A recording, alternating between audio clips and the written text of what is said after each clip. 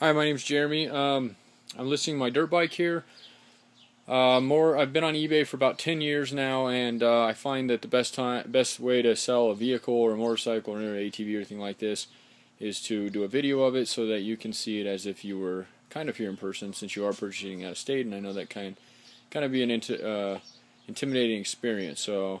Um, I have very good feedback. As you can see, uh, majority of my items are Jeep parts. Well, all of them are because that's what I do for a living. I own a Jeep shop here in uh, Denver. Uh, we sell Wrangler parts, so if you need those, give me a call. Uh, but on this note, this bike, it's a 2006 uh, dirt bike. Um, I bought it from a buddy of mine uh, who basically had it as a backup bike. Um, it's only been used for trail riding, so it's set up for that way.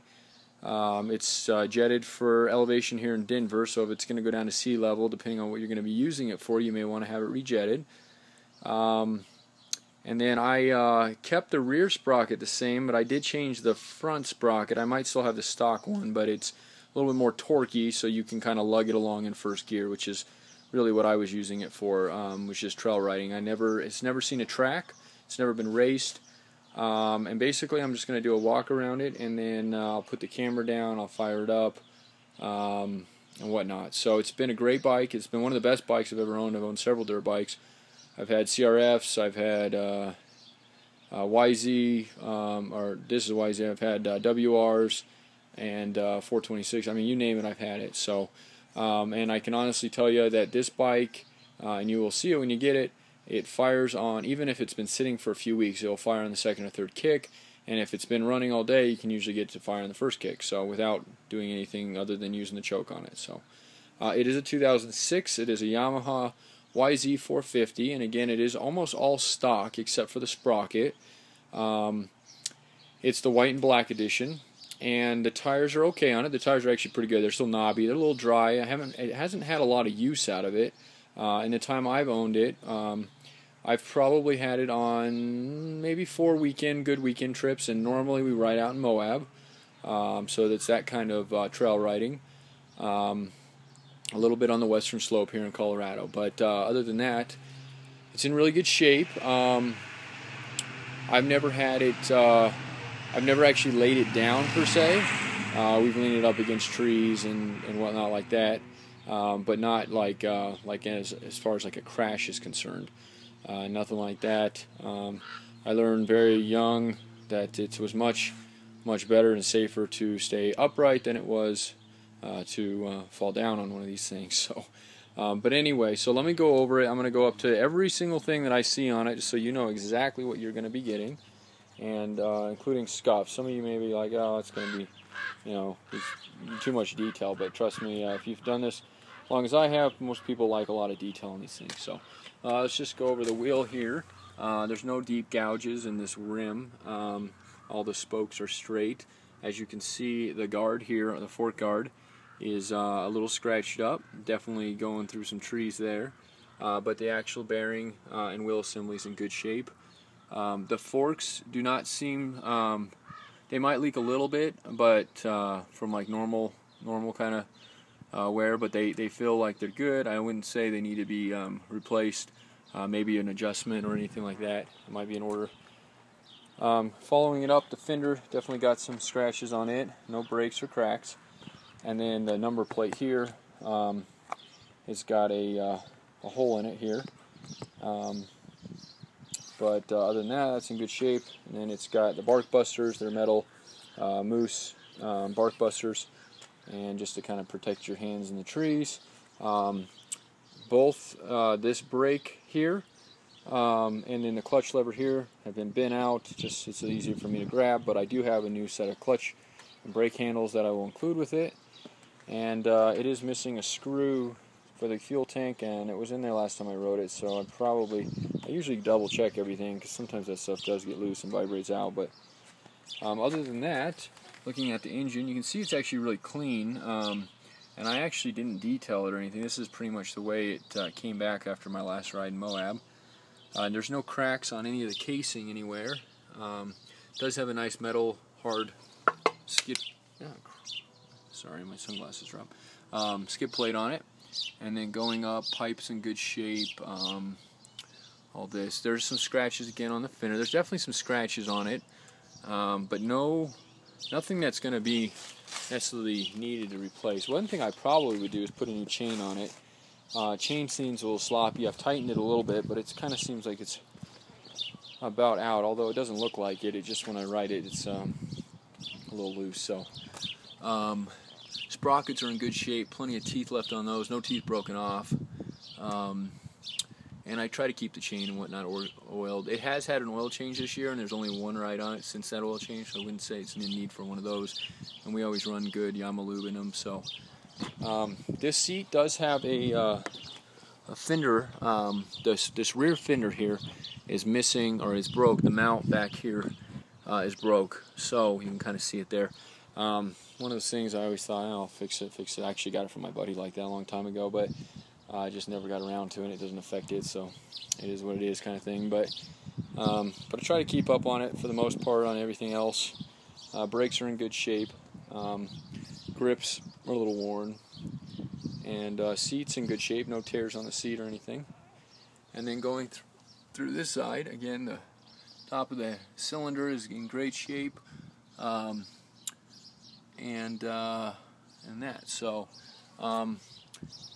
As far as the valves being adjusted, I cannot uh, attest that they've been done. I'm assuming they probably have, and my buddy, because he's pretty good about stuff like that. I haven't had it long enough to put many hours on it or have. Um, it starts really easily, and uh, my old bike, that was kind of a, a noticeable difference when we need to adjust the valves. It wouldn't want to fire up, and this thing always fires up. So just haven't really uh, had the desire or need to go down and do that. So the tires are good.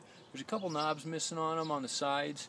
Um, I'd say, depending on who you are, uh, I personally ride on stuff like this, so you might be somebody like myself, or you might want to go out and get a new set of tires um, and use these as spares. They don't leak at all; they hold air, and there's no cracks in the radiator or anything like that. Um, if it uh, YZ 450s, they kind of are meant to to get some air flowing through there. So I do notice on the trails, especially if I'm uh, if I'm um, first gearing it a lot up hills or whatnot, especially on Moab when it's super hot out, it will overflow a little bit of the coolant out of it. Um, but uh, again, even my WR did that, and that was actually made for more trail riding. So uh, when it happens, I just make sure that I open it up a little bit, and, uh, and that goes away right away. So um, I'm going to attempt to fire this thing up and somehow put my camera um, somewhere. So if you can give me a second here, I'm going to set it.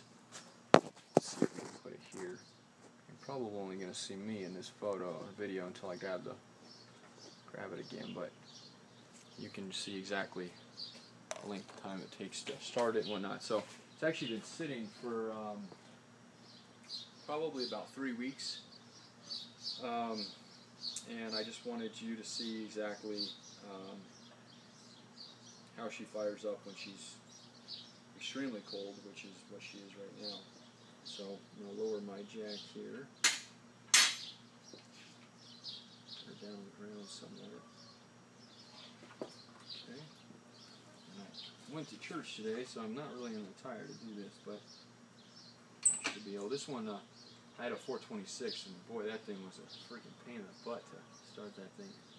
My buddy, who weighs about 300 pounds, he even had a hard time kicking that thing over, but this thing's super easy to start and kick, um, whatnot on it. So I don't know the hours on it. It doesn't have an odometer.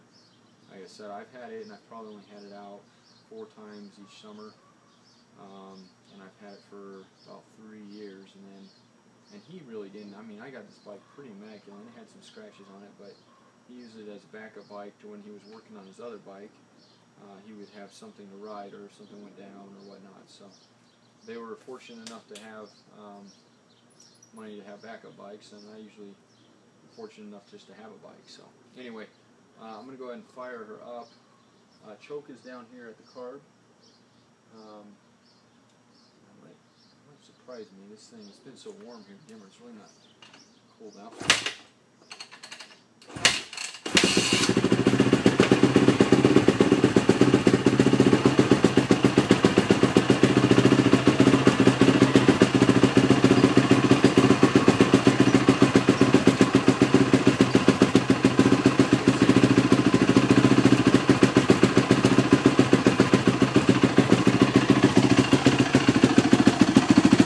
Is idling right now, but it is have a choke on. So uh, give it a little gas here. And uh, no smoke or anything out the tailpipe. Normally I let it idle for a little bit and I kick the choke off. Uh, so there's without no choke now.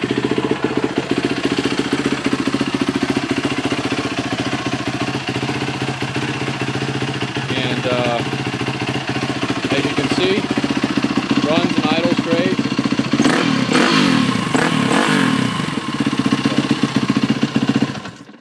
Anyway, so um, if you have any questions about it, please feel free to give me a call.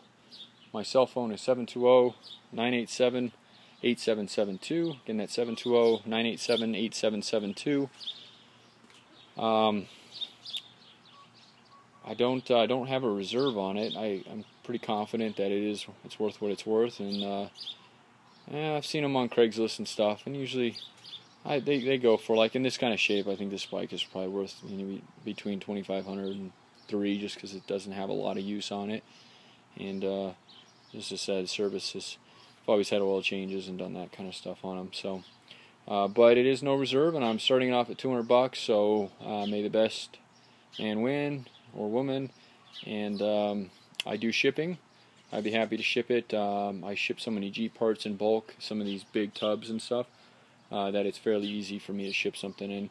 Probably on a bike, you're looking at a couple hundred bucks to get it pretty much anywhere in the U.S. So, or you're more than welcome to come locally and pick it up as well. Um, I, I asked for a $200 deposit within 48 hours of the auction ending, and then the rest of it you can, uh, if you're picking it up in person, pay in cash, or uh, you can send me a cashier's check or some sort of certified funds. Um, and I think that's about it. So, again, my name's Jeremy. I feel free to hope you uh, feel free to call me, and I hope you've enjoyed my video.